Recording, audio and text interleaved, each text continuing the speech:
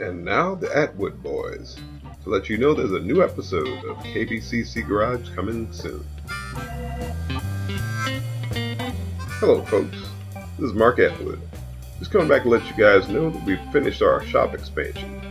And uh, introducing my brother here. His name's Michael.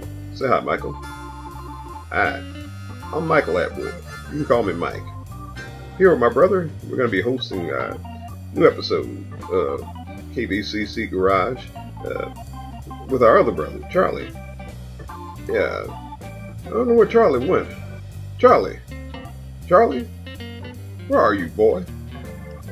Rebecca, Jody, oh, Angela's got that real nice light. Maybe I ought to go on with her.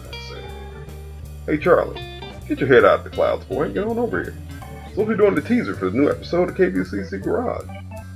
Alright then, here I come.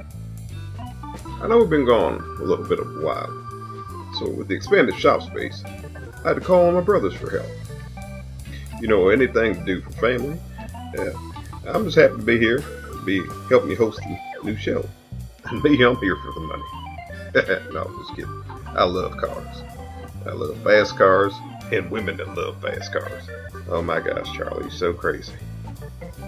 Well, that's what you can expect from the next episode of KBCC Garage. Here's a few pictures from the next episode that's going to be coming up.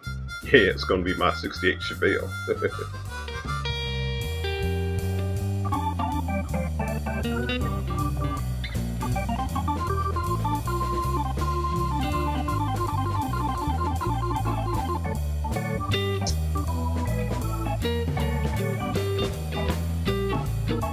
Hey folks, you look like you're a little bit too close there.